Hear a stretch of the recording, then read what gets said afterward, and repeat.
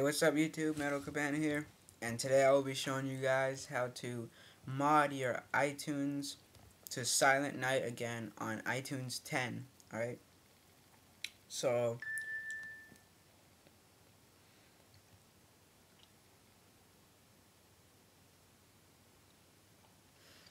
um, alright, yeah, so this is what it looks like, and it's pretty sick, nice theme.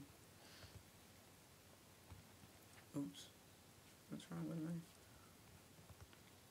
Sorry about that. And, um... Yeah. And it has the... You can see it's iTunes 10. There's the, uh... Ping and all that stuff. Alright, so, um... What you're going to do is you're going to go to this link. I'll have the link in the description, so just go ahead and go to the website.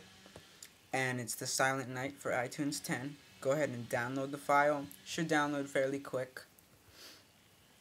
And uh, I'll speed this up. Okay, back. And th this is what you'll get.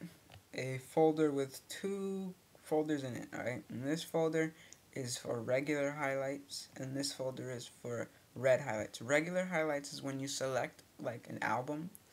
It will be select an album or a song, it'll either be it'll be blue like regular.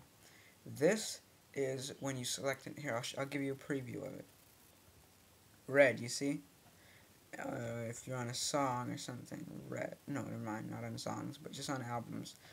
And yeah, just on albums.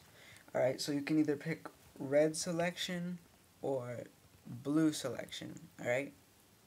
I'm using red selection as you can see. I'm going to change it to blue though. Alright, so all you're going to do is you're going to drag the iTunes folder. Oh, and your iTunes needs to be quit, uh, not running. So quit your iTunes. Make sure it's not running. Then it's going to come up with this. A newer item named iTunes with sections already exists in the folder. Just say replace. Alright, and replace it. And this into there. And replace then you're done. And just run your iTunes.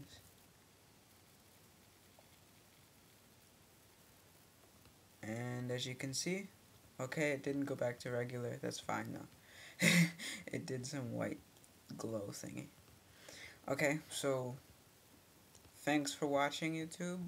Comment, rate, and subscribe. And thanks for watching. Peace out.